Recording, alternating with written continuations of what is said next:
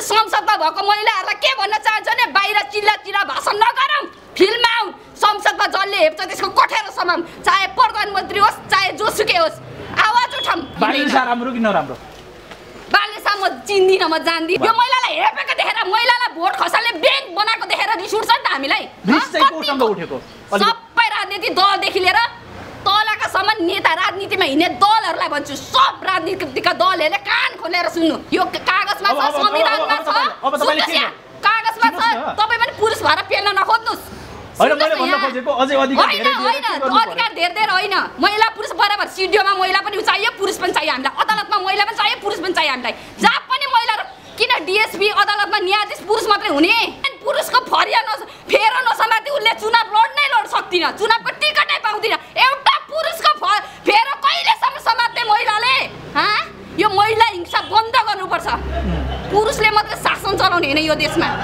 महिलाको पनि उत्तिकै भूमिका चाहिन्छ। अनि एकल महिलालाई पनि के भन्न चाहन्छु? र डिभोर्स गरेको महिलाहरूलाई के भन्न चाहन्छु भने पुरुषको फुर्क्याउने मायामा नलाग्नुहोस् अगाडि बढ्नुहोस् आवाज उठाउनुहोस् पुरुषभन्दा महिला शक्तिशाली छे। संसदमा भएको महिलाहरू पनि कुनै पनि फुर्क्याउली मायामा लाग्नु हुँदैन। एउटा पुरुषको फुर्क्याउली मायामा लागेर एउटा महिलाले कहिलेसम्म टिकटको लागि पुरुषको फेरो समात्ने? कहिलेसम्म महिला हिंसा हटाउँ न संसदबाटै हटाउँ। न गइरहेका छन्। हजुरलाई स्वागत छ। सन्चै हुनुहुन्छ? अब तपाईँ पूर्व माओवादी त्यो पनि जिम्मेवार पदमा रहेर काम गरेको व्यक्ति। अहिले के गरिराख्नु भएको छ? अहिले म मेरो दिदी बहिनी नेपाली दिदी बहिनी र यो नेपाली मेरो दाजुभाइको लागि आवाज उठाएर हिँडिरहेको किनभने यो देशमा भ्रष्टाचार भयो। भ्रष्टाचारले यो देशै रित्ताइसक्यो मेरो दे दाजुभाइ दिनको दिन दिदी बहिनी बिस वर्षको नानीदेखि लिएर अठार वर्षको नानीदेखि लिएर बिस वर्षको नानीसम्म खाडीमा बेचिनु परेको छ। यो स्थिति छ देशको। नेताहरूले भ्रष्टाचार गरेको कारणले गर्दा यो स्थिति यस्तो भएको छ। कतिसम्म यो देशलाई लुट्छन् लुटेराहरूले? माओवादी छोड्नु भयो? मैले माओवादी छोडे हो। छोड्नु भयो? गणतन्त्र एकदम गनायो क्या। गणतन्त्र फोहोर भयो। गणतन्त्रलाई सफा गर्ने कार्यक्रम गर्दैछौँ हामी। गणतन्त्रलाई सफा नगरी हुँदैन। सफा गर्नेतिर लागिरहेको छौँ गणतन्त्र सफा गऱ्यो भने सबै सफा हुन्छ तपाईँको मान्यता त्यो हो? गणतन्त्रको फोहोर मैला हटाएपछि होइन नेताहरूलाई यत्रो जिम्मेवारी दिएको छ। जुनै गोरु आए पनि चा कानै चिरेका। जुन आउँछन् त्यस्तै आउँछन्। जुन आउँछन् त्यस्तै आउँछन्। यो देशमा के गर्न खोजेको यिनीहरूले? तपाईँको पूर्व नेता प्रचण्डले त काम गरिराख्नु भएको छ होइन र काम गर्नु भएको छ कि के गर्नु भएको छ उहाँले होइन? त्यो हामी हेर्दैछौँ उहाँको नतिजा। गनायो भनेपछि सिद्धिको नि। यो राजनीति दङदङले गनाएको छ। के उनीहरूले राम्रोसँग उहाँहरूले काम गर्नु पर्यो कि त होइन भने संसद छोडेर जानु पर्यो उहाँहरूको ठाउँमा हामी अर्को ल्याउँछौँ नि। ल्याउँदैनौँ र हामी। यो के गर्न हिजोको दिनमा त तपाईँले कमान्डर मानेर प्रचण्डको पछाडि तपाईँ ज्यान फाल्न जानुभयो होइन र भने? म भ्रममा थिएँ नि त त्यतिखेर। देशमा परिवर्तन आउँछ कि मेरो दिदी बहिनीलाई शान्ति सुविस्ता हुन्छ कि मेरो दाजुभाइले सुख पाउँछन् कि भनेर म हुम्मेकी थिएँ माओवादीमा। अब कस्तो भयो भन्ने कुरा मलाई थाहा छ नि त। गणतन्त्रमाथि गणतन्त्रको नाममा यति फोहोर भयो कि यति भ्रष्टाचार भयो कि भनेर साध्य छैन। अहिले सुनको काण्ड। एउटालाई मोरा बनाएर सुनको यिनीहरूले नेताहरू मिलेर यिनीहरूले अरूलाई हामीलाई रोज्दा हुँदैन थियो अरूलाई रोज्दा हुँदैन थियो। यिनीहरूले ल्याएर सुन उहाँबाट तस्करी गरिरहेका छन् कहिलेसम्म यस्तो गर्छन्? गरिब दुःखीलाई कहिलेसम्म रोउँछन् यिनीहरूले? कहिले अन्त्य हुन्छ त्यो? अन्त्य गर्न लागिरहेको छौँ हामीले। अन्त्य कसरी हुन्छ? यो महिलाहरू एक हुनुपर्छ र संसदमा भएको महिलाहरू पनि कुनै पनि फुर्क्याउली मायामा लाग्नु हुँदैन। एउटा पुरुषको फुर्क्याउली मायामा लागेर एउटा महिलाले कहिलेसम्म टिकटको लागि पुरुषको फेरो समात्ने कहिलेसम्म? महिला हिंसा हटाउँ न संसदबाटै महिला हिंसा हटाउँ मुनिदेखिको लेखि लिएर पिएचडी गरेको महिला पनि महिला हिंसामा परिरहेछन्। जो घरमा जुन घरमा आदर्शवादी कुरा हुन्छ नि त्यही घरको महिलाहरू नि यति अन्यायमा परेका छन्। म के भन्छु भने एक घर महिलालाई पनि के भन्न चाहन्छु र डिभोर्स गरेको महिलाहरूलाई के भन्न चाहन्छु भने पुरुषको फुर्क्याउने मायामा नलाग्नुहोस्। अगाडि बढ्नुहोस् आवाज उठाउनुहोस् पुरुषभन्दा महिला शक्तिशाली छे। यो पुरुषले मात्रै देश चलाउन सक्दैनन्। प्रधानमन्त्री पाँच वर्ष पुरुष हुनुपर्छ पाँच वर्ष महिला हुनुपर्छ। हामीलाई बराबर कोटा चाहियो। दलित कोटा होइन महिला कोटा चाहियो हामीलाई। महिला कोटा ल्याउनु पर्यो। दलित कोटा चाहिएन। चाहिएन। महिला कोटा चाहियो हामीलाई। जहाँ पनि थिचेका छन् हेपेका छन् महिला एउटा कन्टेनर भयो भने गाडीमा हिँड्यो भने पुरुषले कति अन्याय गर्छ? भाँडा दिँदैन।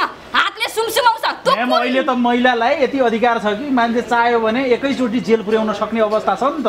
त्यो त हो कि? तपाईँले हेर्नु भएन महिलालाई कति अधिकार छ? सुन्नुहोस् न। त्यो कागजी हिसाबमा अधिकार दिएको छ र यो जेलमा लाने अधिकार मात्रै छ महिलालाई। माथि फिल्डमा लड्ने अधिकार दिएको छ महिलालाई? दिएको छैन नि। खालि पुरुष जहाँ पनि पुरुष पछाडि हटाउने नै पुरुषले महिलालाई हो क्या मेन पुरुषको फरिया नस फेर नसमाति उसले चुनाव लड्नै सक्दिनँ चुनावको टिकटै पाउँदिनँ। एउटा पुरुषको फेर कहिलेसम्म समात्ने महिलाले हँ? यो महिला हिंसा बन्द गर्नुपर्छ। पुरुषले मात्रै शासन चलाउने होइन यो देशमा। महिलाको पनि उत्तिकै भूमिका चाहिन्छ। तपाईँले भन्न खोज्नु भयो त्यसो भए यो अधिकार अहिले भएको अधिकार कम भयो होइन महिलालाई? कम भयो। यो क- कागजमा अब- छ अब- अब- संविधानमा अब छ तपाईँले- अब तपाईँले सुन्नुहोस् के यहाँ, कागजमा छ सुन्नुहोस् न। तपाईँ पनि पुरुष भएर पेल्न नखोज्नुहोस् होइन मैले सुन्नुहोस् न भन्न यहाँ। खोजेको अझै अधिकार धेरै होइन महिला पुरुष बराबर सिडिओमा महिला पनि चाहियो पुरुष पनि चाहियो हामीलाई। अदालतमा महिला पनि चाहियो पुरुष पनि चाहियो हामीलाई। जहाँ पनि महिला र- किन डिएसपी अदालतमा न्यायाधीश पुरुष मात्रै हुने? ठुल्ठुलो कोटा पुरुषलाई मात्रै? म पुरुषको भन्दा नि यसबाट शक्ति र बल तागत महिलाको धेरै छ। ल्याउन नचाकियो दबाएको छ। र यो जो जो नेताको बुढीहरू छ नि तिनीहरू नि प्राय सबै त होइन। आधी सय पीडित छन्। आवाज उठाउन सकेका छैनन्। कहिलेसम्म बन्द गर्नुहोस् कहिलेसम्म आवाज उठाउनुहुन्न तपाईँहरूले? हिंसा कतिसम्म सहनुहुन्छ? यो संसदमा भएको महिलाहरूलाई के भन्न चाहन्छ भने बाहिर चिल्ला चिल्ला भाषण नगरौँ। फिल्ममा आउँ संसदमा जसले हेप्छ त्यसको कठेर समाम। चाहे प्रधानमन्त्री होस् चाहे जोसुकै होस् आवाज उठाउँ किन एकै ठाउँमा बस्नुहुन्छ? नयाँ? अब त त्यो ठाउँमा नयाँ नै दिनुहोस् न स्थान रवि लामिछानेको हेर्नु त त्यत्रो बाइस रवि छाने कुनै गतिलो होइन आएर यस्तो गर्छु उस्तो गर्छु भनेर पत्रकार छेडमा आयो के चाहिँ गर? त्यो पनि उस्तै हो। ल्याउनु पर्यो हामीले। राम्रो हो तपाईँको नजरमा? दुर्गा दाई पनि अहिले त अब ठिकै हुनुहुन्छ अब पछि भन्न सकिँदैन। राम्रो कि नराम्रो? बालेसा म चिन्दिनँ म जान्दिनँ यसो हेर्दा ठिकै पनि लाग्छ कहिले कहिले लाग्दैन पनि। म चिन्नुहुन्न। कहिले ठिकै पनि लाग्छ। को- मा- म्याम तपाईँ कुन दुनियाँमा हुनुहुन्छ? काठमाडौँमा हुनुहुन्छ भने त काठमाडौँको महानगरको मेयरलाई त चिन्नुपर्ने। होइन बालेसाले कतिपय कुरा राम्रै निकाल्नु भएको छ फेरि कतिपय कुरा उहाँको चित्त बुझ्दैन क्या।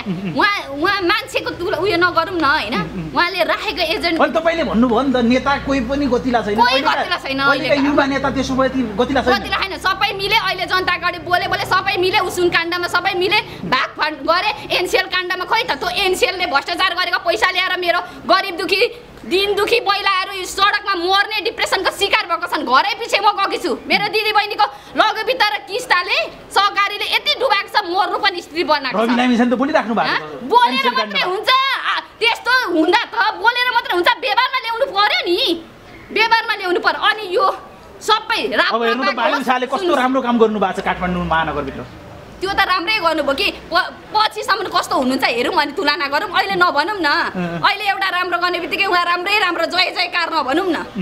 अब दुर्गा प्रसाई भन्नुभयो दुर्गा प्रसाईले राखेको एजेन्डा चाहिँ राम्रो हो होइन? भोलिको दिनमा अब कस्तो हुनुहुन्छ के हुनुहुन्छ हामीलाई थाहा भएन राजा चाहिन्छ होइन देशमा? राजा सुन्नु न राजा जो भएर आउँदा पनि हुन्छ नि तर देशलाई परिवर्तन हुनु पर्यो।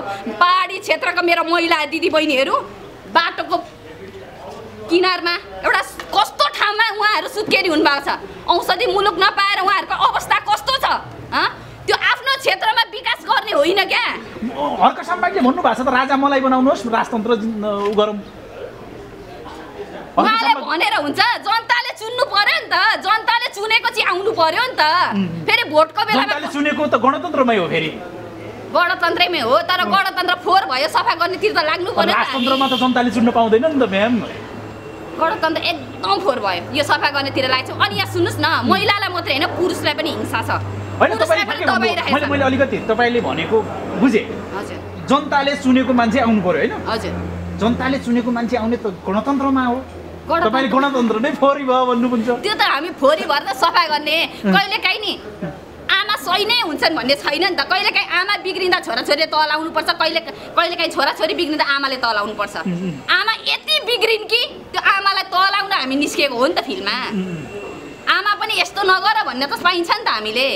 गणतन्त्रमा भएको फोहोर धुलो मैलो झार्नु पर्यो नि त हामीले। होइन भन्नुहोस् त। आमा फोहोर भइन् भनेर आमालाई चट्टै मार्नु त भएन नि त।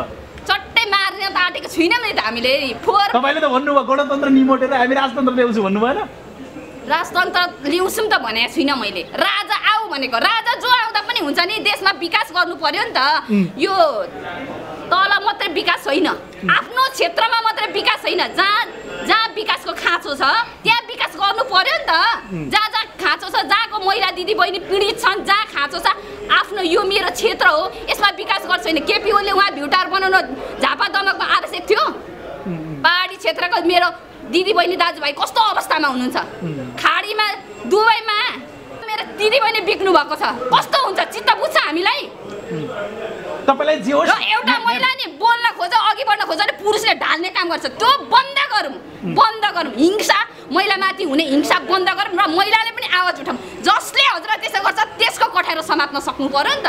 तपाईँ त हिजोको जुन रूपमा घरमा बन्धक बनाउने व्यवस्था चाहिराख्नु भएको छ प्रचण्डले तेत्तिस प्रतिशत महिलालाई अधिकार दियो तर प्रचण्डलाई तपाईँ मुर्दाबाद भन्दै हुनुहुन्छ। तपाईँकै कमान्डर पूर्व। सुन्नुहोस् न मैले उहाँको उहाँलाई मुर्दाबाद भनेको होइन नि त। कस्तो कुरा गर्नुहुन्छ? उहाँले राखेको यो एजेन्डा उहाँले गरेको काम चित्त नबुझेको त यो त चित्त आफ्नै त चित्त बुझेन भने बुझेन भन्न पाइन्छ भने उहाँलाई भन्न पाइँदैन। कस्तो कुरा गर्नु छ अहिले आएर पाइन्छ त्यही त गणतन्त्रको सुन्दर पक्ष त्यही हो म्याम। त्यही त गणतन्त्र अघिदेखि भनिरहेको छौँ नि हामी सफा गर्नेतिर लागिरहेको छौँ भनेर। कसरी सफा गर्नुहुन्छ ल बताइदिनु नि तपाईँको भिजन बताइदिनुहोस्। यो भ्रष्टाचारलाई अन्त्य गर्नु पर्यो र? संसदमा नेताहरूको मिटिङ गोप्य मिटिङदेखि लिएर संसदमा भएदेखि कुरा लिएर सबै जनतामा खुल्नु पर्यो र जनता चिल्लो गाडी यहाँ सर्वसाधारण जनतालाई खानु छैन नुन छैन कसैलाई कसैलाई चिल्लो गाडी छ कुदिरहेछन् हँ? कसैलाई नुन छैन कोही त्यत्रो त्यत्रो सुन भित्राइरहेछन् त्यो हुनु भएन। देश तात पल्टिसक्यो अब महिला जाग्नु पर्यो। संसदमा भएको महिलाहरू पनि फुर्किनु होइन। त्यहाँबाट आवाज उठाउनु पर्यो। अब म भन्नुपर्छ। पुरुष पनि जाग्नु पर्यो महिलालाई पनि सम्मान गर्नु पर्यो पुरुषलाई पनि सम्मान गर्नु पर्यो। अनि मात्रै बराबर हुन्छ। महिलालाई हेपेर होच्याएर पुरुष अघि बढ्न खोज्यो भने कहिले हुँदैन सत्यनाश हुन्छ। जुन घरमा स्त्रीको बास हुँदैन त्यो घरमा सत्यनाश नै हुन्छ। किनभने रामायणमा पनि सीताले अन्त्य गरेको थिइन् नि। त्यो कुरा जान्नु पर्यो नि त। एउटा भोट खसाल्ने ब्याङ्क मात्रै होइन क्या महिला। प्रयोगमा ल्याउँछन्। जब भोटको बेलामा पोस्ट कार्ड हेरेर एउटा महिला हुन्छ अरू पुरुष नै मात्रै हुन्छन्। त्यो किन होला? महिलालाई भोट खसाल्ने त्यो अहिले जितेर गए म यस्तो भयो भनेको महिलाहरूलाई भन्न चाहन्छु। दिमागको बिर्को खोल्नुहोस्। भोट खसाउने प्रयोग गरेको छन् महिलालाई। प्रयोग गर्नु भएन नि त। महिलालाई पनि कोटा चाहियो नि त अब। दलित कोटा होइन नि महिला कोटा चाहियो। बोल्न सक्ने महिलालाई त हेपेका छन् भने बोल्न नसक्ने झन् कसो गरेका छन्? र म एकल महिलाहरूलाई के भन्न चाहन्छु भने तपाईँहरूको बुढाबाट कस्तो हुन्छ के हुन्छ भोगिसक्नुभयो तपाईँहरूले? एउटा पुरुष आयो भन्दैमा देशको लागि केही गर्न गर्छु भनेर हिँड्नुहुन्छ एउटा पुरुषले।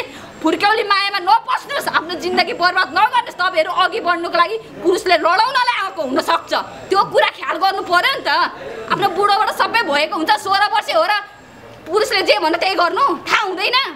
एक्लै बाँच्न सक्छ नि पुरुषले जस्तो गर्न सक्दिनँ। महिला हिंसा बन्द गरौँ महिलाले महिलाले आवाज उठाउँ घरैदेखि आवाज उठाउँ र घरबाट आवाज उठाएर आयौँ हामी संसदमा आयौँ भनेको महिलाहरू पनि दिमागमा बिर्को खोल्नुहोस् अगाडि बढ्नुहोस् म मन्त्री पाँच वर्ष हुन्छु भन्नुहोस्। अनि मात्रै हुन्छ यहाँ। जहिले पनि महिला नै हुनुहुन्छ।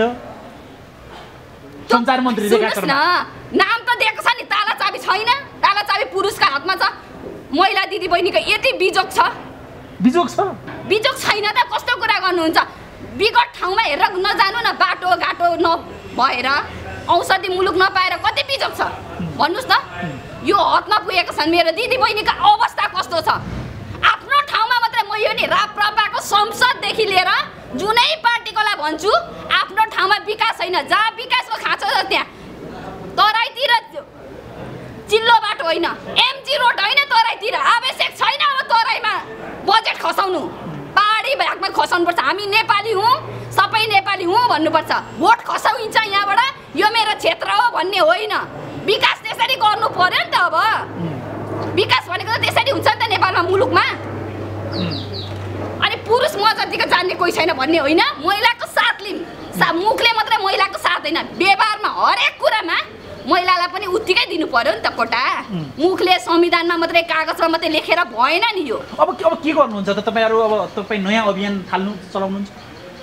यो महिला हिंसा मेरो हिसाबमा के छ भने पुरुष र महिला बराबर हुनुभयो भने जुनै कुरामा अनि मात्रै हुन्छ महिलालाई चाहिँ थाहै नदिने पुरुष मात्रै गोप्य गर्ने जे पनि आक्रोशित हुनुभयो नि? किन आक्रोशित यो महिलालाई हेपेको देखेर महिलालाई भोट खसाल्ने ब्याङ्क बनाएको देखेर रिस उठ्छ नि त हामीलाई। रिस चाहिँ कति कोसँग दल नेता राजनीतिमा हिँड्ने दलहरूलाई भन्छु सब राजनीतिका दलहरूले कान खोलेर सुन्नु। त्यही महिलाको तिमीहरूले फरिया समय नभने त्यही महिलाको हात नसमाई अघि बढ्न सक्दैनौ र पुरुषको फेरो समातेर महिला पनि कहिले राजनीतिमा नलाग्नु। सोच्नु यसले मलाई फेरो किन समायो? यसले के गर्न खोज्दैछ? त्यो सोच्नु न। त्यसो कुनै दल पनि नेपालमा राम्रो छैन छैन, नयाँ पुराना सबै एउटै होइन आए जति संसदमा भए जति जुनै गोरु आए पनि कानै चिरेका छन् खालि बाजे जस्तो झगडा गरे जस्तो गर्छन् कि उनीहरू भ्रष्टाचार गर्ने बेलामा ऊ एनसिएल काण्डमा तैचुप मैचुप अलिअलि बोले जस्तो गरे कता कताबाट जनताले त पत्याएको छ नि त केही पत्याएका मान्छेहरू पनि छन् नि संसदमा। कसरी जनताले पत्याए कुन हदले पत्याए कस्तो अवस्थाले पत्याए अब पत्याउँछन् पत्याउँदैन नेतालाई। तपाईँलाई पत्याएको छैनन्। मलाई किन पत्याउनु पर्यो? मेरो जनतालाई नेपाली दिदी बहिनी दाजुभाइलाई चाहिँ राम्रो गर्नु पर्यो नि त। मलाई पत्याउनु पर्दैन क्या कसैले। संसदमा पुर्याए उनीहरूलाई संसदमा पुऱ्याए उनीहरूकै ठाउँकोले पुऱ्याए होइन। उनीहरूकै ठाउँमा विकास गरे तर बाहिर जनता हो। सुन्नु न उनीहरूकै ठाउँकोलाई विकास गरे उनीहरूकै ठाउँकोले पुऱ्याए तर मैले चाहिँ भनेको आफ्नो ठाउँकोलाई मात्रै विकास नगरौँ अरूलाई पनि हेरौँ अरूलाई पनि सम्मान गरौँ। बाढी भाग विकट विकट ठाउँलाई गरौँ न पहिला। अरू ठाउँ त छँदैछ नि। होइन भन्नुहोस् त। तपाईँ जस्तो यस्तो पर्खर व्यक्ति आक्रोशमा त्यो पनि पूर्व लडाकु तपाईँलाई त राष्ट्रपामा भयो बालेन शाहसँगै मिलेर नयाँ पार्टीमा राम्रो स्थान पाउने मान्छे तपाईँ यति आक्रोशित भएर तिनीहरू नयाँ नेतृत्वलाई पनि गाली किन सुन्नु मलाई? स्थान चाहिएको छैन। मलाई मेरो नेपाल देशमा विकास चाहिएको।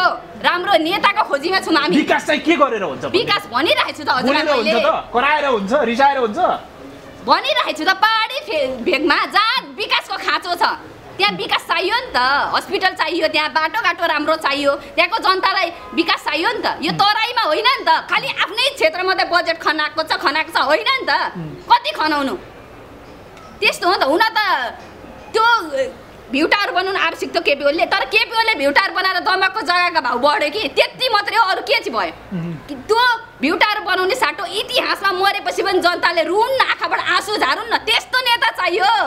चिल्लो गाडीमा कुदेर नेता आयो बाटो छोड भन्ने होइन। को नेता? तिनीहरूलाई हामीले बनाएको होइन। तिनीहरू आउँदा हामीले बाटो छोड्नु पर्ने हाँ? तिनीहरूलाई जिउजिउ गर्नुपर्ने। मेरो लागि त कुनै नेता होइन। म कुनैलाई मान्दिनँ। किनभने हामीले माथि पुऱ्याइ तिनीहरूलाई हामीले झार्न सक्छौँ। सक्दिनँ भन्नु त। हो। सबैभन्दा नेता कस्तो चाहिँ नेता हुनुपर्छ भने जनतासँगै खाने जनता जस्तै कपडा लाउने जनतासँगै उयो गर्ने चिल्लो गाडी होइन सरकारी सुविधा होइन। पारस जस्तो हुनु पर्यो। नेता।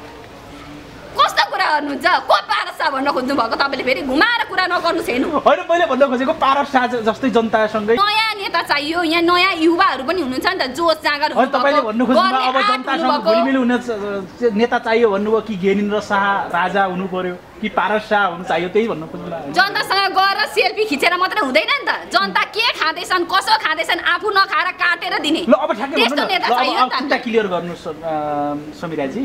तपाईँ राजावादी गणतन्त्रवादी? क्लियर भनिदिनुहोस् किन जनतालाई ढाक्नुहुन्छ ल भनिदिनुहोस् न। नडराएर भनिदिनुहोस् क्यामेरा अगाडि ल। कस्तो प्रश्न गर्नुहुन्छ अहिले अन्तिममा आएर? म राजावादी पनि होइन म राजावादी त हुँदै होइन हेर्नु। मैले के भनेको भने राजा ल्याउनु पर्यो। राजा त जो हुँदा हुन्छ र गणतन्त्र फोहोर भयो। गणतन्त्रलाई सफा पार्नु पर्यो। यस्तो गणतन्त्र होइन। हामीले यस्तो गणतन्त्र आउँछौँ भनेर सोचेका थिएनौँ तपाईँ राजावादी फिटिकै होइन गणतन्त्रवादी फोर गणतन्त्रवादी पनि होइन होइन? गणतन्त्रको फोहोर फ्याल्दैछौँ। अब यो देशमा यो मुलुकमा विकास ल्याउन चाहिरहेको छौँ होइन अब संसदको दलहरूलाई के भन्न चाहन्छु भने तपाईँहरूले राम्रो काम गर्न सक्नुहुन्न आफ्नै एसआरएम आफ्नै सान देखाउनुहुन्छ भनेदेखि नेपाल छोड्नै जाने काशीतिर जाने कि इन्डियातिर जाने कहाँ जाने जाने अर्को ल्याएर राख्छौँ नि त हामी। राख्छौँ नि त। त्यो भन्न अब चाहिरहेको छु अन्तिममा तपाईँलाई हेरिराख्नुभएका आम दर्शकहरूलाई आम नेपाली जनताहरूलाई के भन्नुहुन्छ? अन्तिममा। के भन्न चाहन्छु भने मेरो दिदी बहिनीलाई विशेष घरेलु हिंसा नत्या न यस घरेलु हिंसामा परेर आवाज उठाउनुहोस्। कति जेल सहनुहुन्छ मन मिल्दैन भने छुटेर बस्नुहोस्। एक्लै गरी खान सिक्नुहोस्। पुरुषभन्दा हामी पनि कम छैनौँ एक्लै गरी खान सक्छौँ। त्यही भएर म के भन्छु दबिएर हेपेर नबस्नु। एउटा नानी छ भने नानीको अवस्था हेरेर होइन। मानिसको जुनी भनेको नि एक बार पाइन्छ। चौरासी लाख जुनी पार गरेपछि मनुष्यको पाइन्छ। त्यही भएर के भन्न चाहन्छु भने दबिएर नबस्नुहोस् र पुरुष पनि हिंसा नसर्नुहोस्। हामीलाई पुरुषले पनि भनिरहनु भएको छ हामीलाई पनि कतिपय महिलाले हिंसा गरिरहेछन्। कसरी आवाज हुनु जैतिकले भन्छन्। जैतिकले भने भन्नु न निकाल्नुहोस् न आवाज। मन मिल्दैन भने छुटेर बस्नु न। त्यस्तै बुढी छ भने छो लात पार्नु न। र महिलाहरूलाई पनि के भन्छ भने महिलाहरूकै दुश्मन महिलै नबन्नुहोस्। सोच बदल्नुहोस्। आफ्नो र अघि बढ्नुहोस् महिलालाई साथ दिनुहोस् महिलाको दुश्मन महिला नबन्नुहोस् आफ्नो श्रीमान के गर्दै हुन्छ कसो गर्दै हुन्छ हेर्नुहोस्। श्रीमान भनेको घरको पिल्लर हो। पहिला श्रीमानलाई राम्रो गर्नुहोस् र श्रीमानलाई मात्रै होइन श्रीमतीलाई पनि राम्रो गर्नुहोस्। त्यो भनेको छ। हस् thank you so much thank you